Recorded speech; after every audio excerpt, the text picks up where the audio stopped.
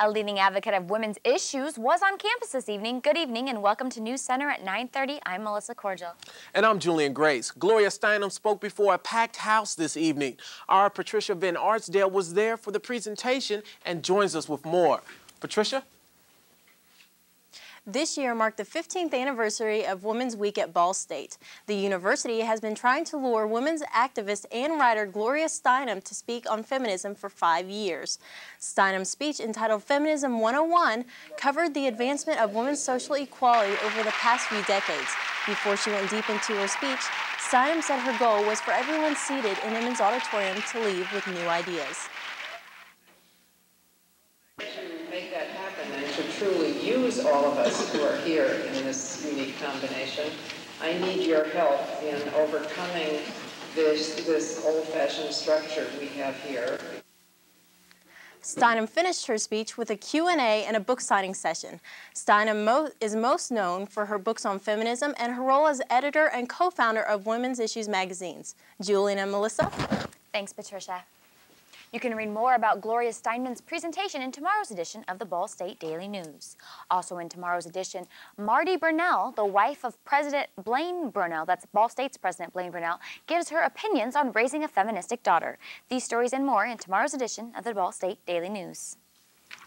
This afternoon's Cardinal Job Fair brought 101 companies to Ball State. This number is down from last year when more than 130 attended. The slow economy may make it hard for students to find jobs. News Center Allison Bell has more. Tennis shoes for high heels at today's Cardinal Job Fair. With the economy in a slump, employment is harder to find. Only 101 companies came to the job fair as opposed to last year's 128, says Career Center's Karen Spizak the September 11th tragedy has had a lot to do with um, kind of the hiring market for this year. The decline in companies and positions available makes students uneasy about finding a job.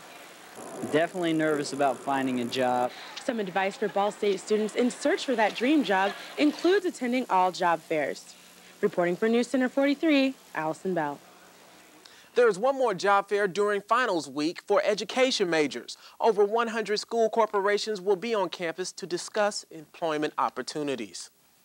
And uh, Wes Klein is in with a look at today's forecast. What Wes, what do we have going on uh, today as far as weather? Is it going to, I noticed that the snow is melting. Is that going to continue? Yes, the, the late March uh, thaw is on. As uh, tonight's forecast will have mostly clear skies tonight with a temperature of uh, 24 degrees and a southeast wind at 5 mile per hour. All right, that doesn't sound too cold. Thanks a lot, Wes. Thanks. And the Build Indiana Fund is going to lose more money. Two Republican State Treasurer Tim Berry and Auditor Connie Nass, have agreed to follow Governor O'Bannon to transfer $247 million from the Build Indiana Fund to the General Fund. The governor needs the funds to solve the budget deficit. The controversial Build Indiana Fund provides money for state legislatures to fund local projects. Election officials all over Indiana are trying to figure out how to get more people to vote in primary elections. And one high school senior is also doing his part, something nobody has ever tried before. Here's News Center reporter Dustin Grove. At first glance, Justin Reitz is just like any other high school senior. What up, Jackie? Looking forward to graduation. I'm headed to Milligan College in Tennessee. Looking forward to the future. Hoping to play soccer there. But before all of that, if all goes to plan, Justin's future might involve time here at the Hamilton County Sheriff's Office. Only not necessarily behind the bars. I'm running for Hamilton County Sheriff um, basically just because I really want to raise voter awareness. Barely 18, no law enforcement experience, not even a high school graduate yet.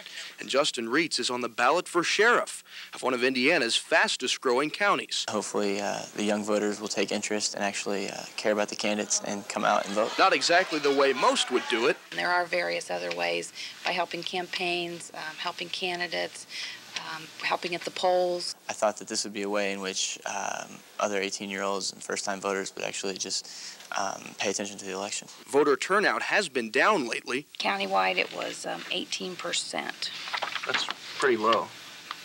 That's pretty low. Do you think it's going to work? So far it has. So far I've gotten a great response from everybody here at the high school at least. Did you register yet? But from the public? I'm not sure he realizes what all he would be getting into. Do you think you have a chance of winning? um, you know, I, I almost hope to a certain extent I don't have a chance of winning, um, just because I hope that the other kids will take an interest in it and vote for the candidate that they think is best qualified. And if Justin does become the new sheriff in town? um, if I were to win, I think I'd have to deal with it then. Um, I am not prepared for that right now. Uh, I don't know what I would do exactly, but if, if and when that time comes, then I'll have to deal with that then. Either way, it's one for the record books. Dustin Grove, CNN Student Bureau, Carmel, Indiana. We'll be sure and let you know what happens in that election. A man who teaches young people how to care for horses has been charged with animal abuse. Lake County Animal Protective Services of Merrillville, Indiana says a horse in Arnold Dwell's care starved to death. Dwell is a stable owner and he says a veterinarian examined the six-year-old Arabian horse two weeks ago and found nothing wrong. Dwell says he doesn't know what happened to the horse. Animal Services expects charges for improper shelter and feed to be filed against Dwell. A man convicted of producing methamphetamines has agreed to demonstrate how to make the, a drug for how to make the drug for a videotape aimed at teaching police officers about the dangerous process. The plea agreement requires Rodney Flora to help produce the videos before his guilty plea is accepted by a Vigo Superior Court judge. Police say the methamphetamine that Flora makes for the video will be destroyed immediately so it does not fall into the wrong hands. Coming up after the break, an Israeli hotel was the target of another suicide bombing. And President Bush has comments on the events of the Arab summit. Also, U.S. troops of the, on the USS Roosevelt have returned to the Norfolk, Norfolk Naval Base. Stay tuned.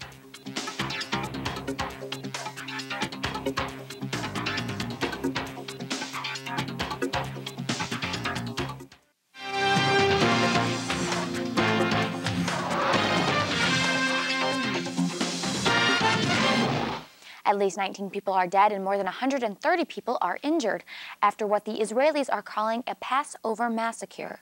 The suicide bombing occurred today in the lobby of the Park Hotel in the coastal city of Netanya.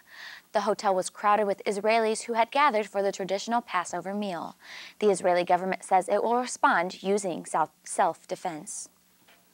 An Arab summit began in Beirut. Palestinian leader Yasser Arafat decided not to attend because of restrictions, restrictions threatened by Israel.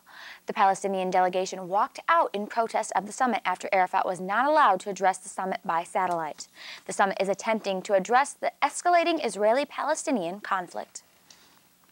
U.S. U.S. citizens could be the targets of U.S. citizens could be the targets of terrorist attacks in three Italian cities. A U.S. embassy in Italy has credible evidence that extremist groups are aiming for America's, Americans in Florence, Venice, and Verona.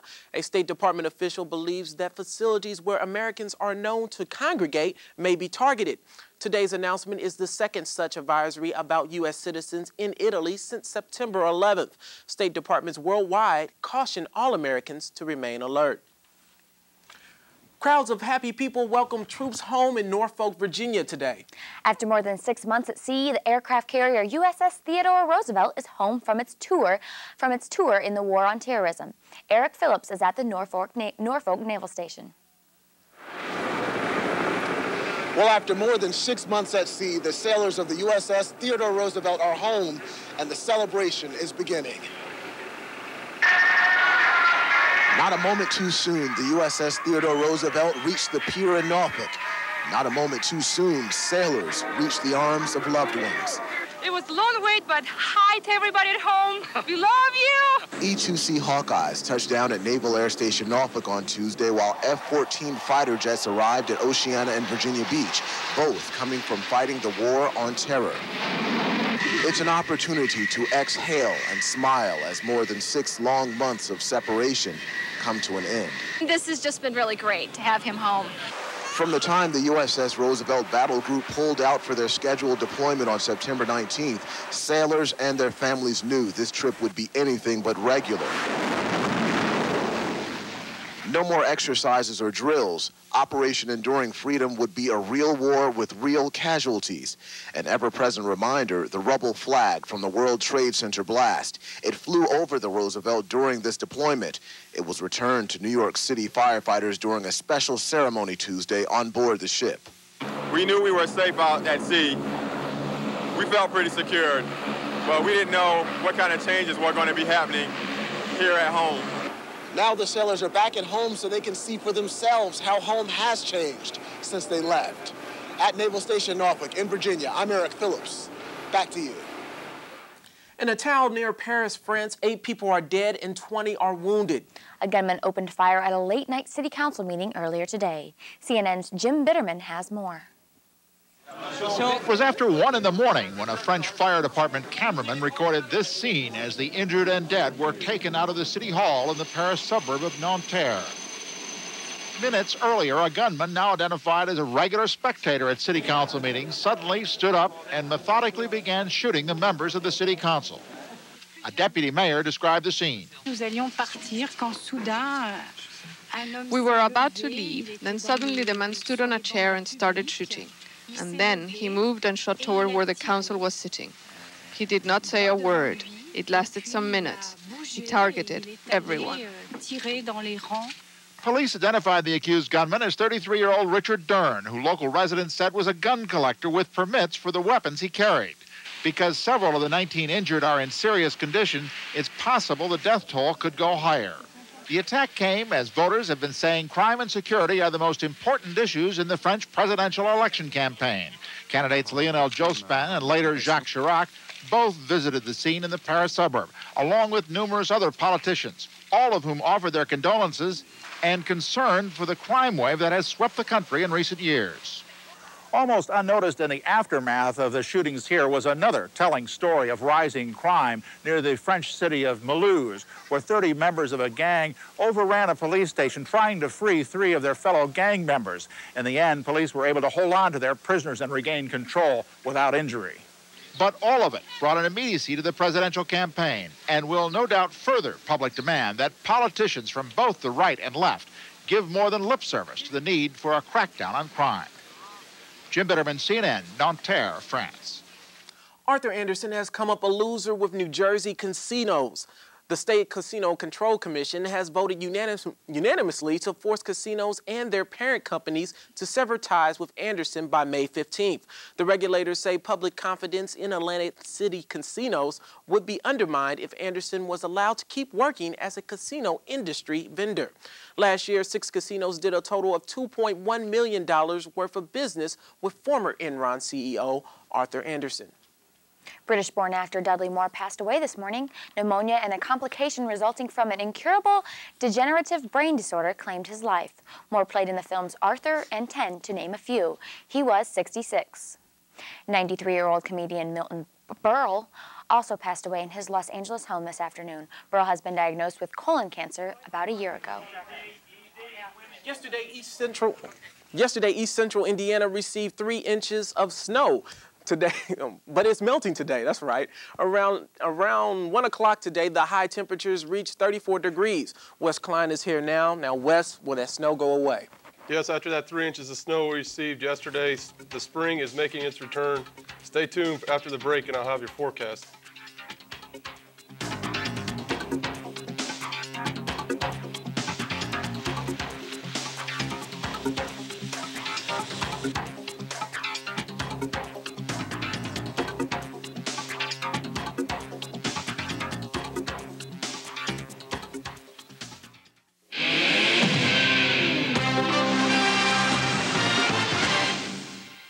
Good evening, everyone. Uh, the spring thaw is underway, but our temperatures still remain below normal. Today's high was 35 degrees, which was still well below the normal of 53. Today's low, today's low was a chilly 19 degrees, as the normal low is, is 34 degrees. Here's the high temperatures for today. As you can see here in Muncie, we're at 35. As in the northern part of the state, you can see they were in a 37 in Fort Wayne and Lafayette, 37. As they stayed warmer to the south, with less snow, slow, uh, snow cover. Uh, time, of the, uh, time of this year, we need to watch the, as the snow melts, the rivers start to climb. Right now, it's, it's, doing, it's doing all right as the East Fork White River in Columbus is 5.5 feet, and the White River here in Muncie is 5 feet, and the Wabash River down in Terre Haute is at 8.5 feet. Currently, outside, the temperature is 30 degrees with, under mostly clear skies with that northeast wind at 6 and the humidity is 70%. Here's the satellite image shows a, a little bit of, of, high clouds here over the Hoosier State as our next weather system here eh, up in the Dakotas will be moving toward towards us tomorrow night, giving us about a 40 to 30 percent chance of rain. Right now, the radar you can see is relatively clear over the region. As tonight, you can see this high pressure system is giving us those, those clear skies, and, and as this cold front pushes through, it'll give us that chance of rain tomorrow night. As you can see here on tonight's lows, I'm calling for a temperature around 20, 24 degrees. It is, is uh, it's warmer to the south with uh, the warmer temperatures. Tomorrow's highs, I'm calling for 50 degrees right here in uh, Muncie as, uh, as the colder temperatures are persist, persisted up north. Tonight, that the mostly clear skies will have that temperature of 24 degrees, that southeast wind at 5. And tomorrow, you'll start, the day will start out with uh, some sunshine and then the clouds will move in with a temperature of 29 degrees when you wake up.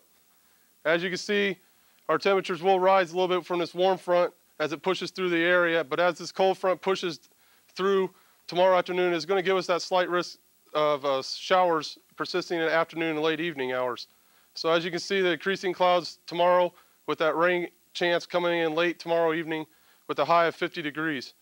And as you can see here on a three-day, the Friday will be a temperature of 54. Uh, Saturday we'll have a temperature of uh, 49 and sunny, sunny, partly sunny skies on Sunday with uh, 42 degrees with lows ranging in the mid 30s so it looks like a pretty pretty nice three-day outlook ahead. It's nice to see that things are warming warming up again. Yeah. nice to see the snow continue to melt. Yeah, that's true. Thanks for that report, Wes. Yeah, thanks. Now, Margie Zehart joins us now. IU is headed to Atlanta for the Final Four, correct? Yes, they are. What are their chances? Just oh, I don't know. We'll see. We'll see. It just depends on if Tom Coverdale's ankle is okay. I'll have all the news on IU. Plus, we got room on the bench at Ball State for another player. Someone's transferring. I'll tell you all about it when News Center at 9:30 returns.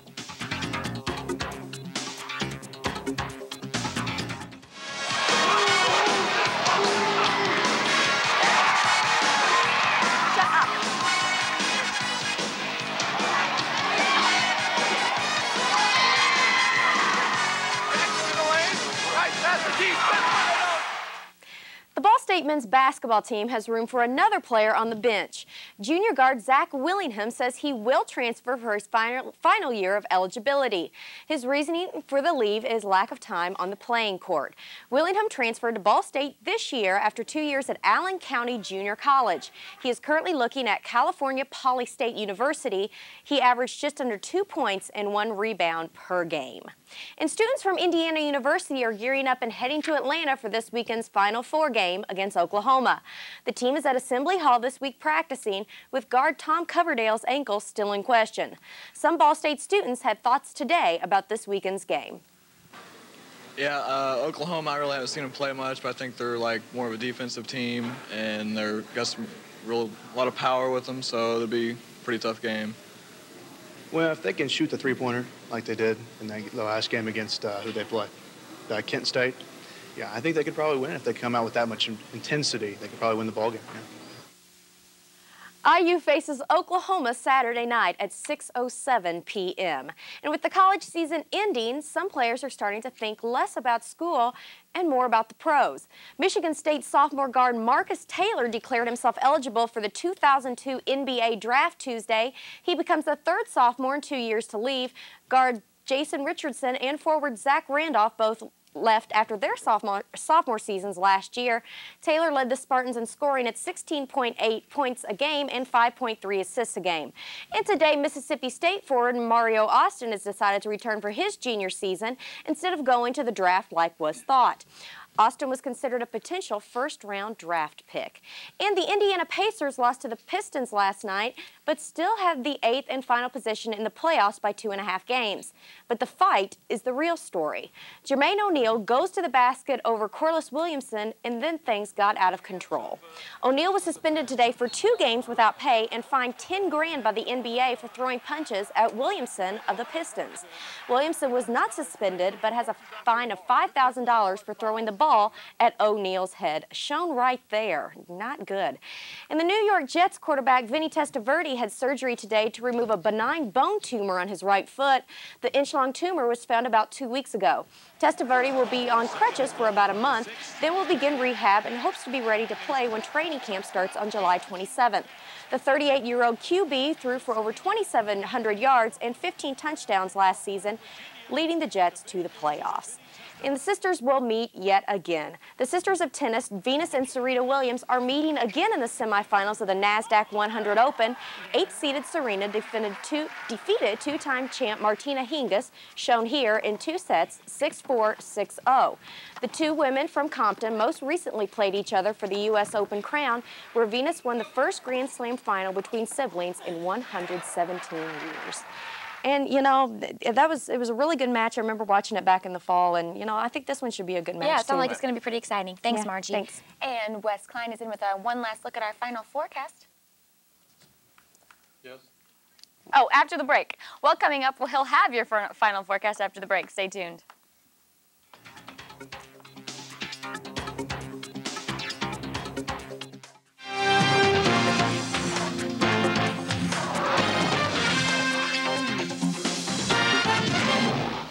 clear skies tonight, that low temperature of 24. Tomorrow, the sun will be in the morning with a high of 50 and the clouds coming in late. Nice three days on tap with the temperature of 54 on Friday and nice forecast going right into Easter weekend holiday. Thanks, Wes, and thank you for joining us for News Center at 9.30. I'm Julian Grace. And I'm Melissa Cordell. News Center 43 is an official CNN Student Bureau. Be sure to tune in tomorrow for News Center at 5.30. Good night.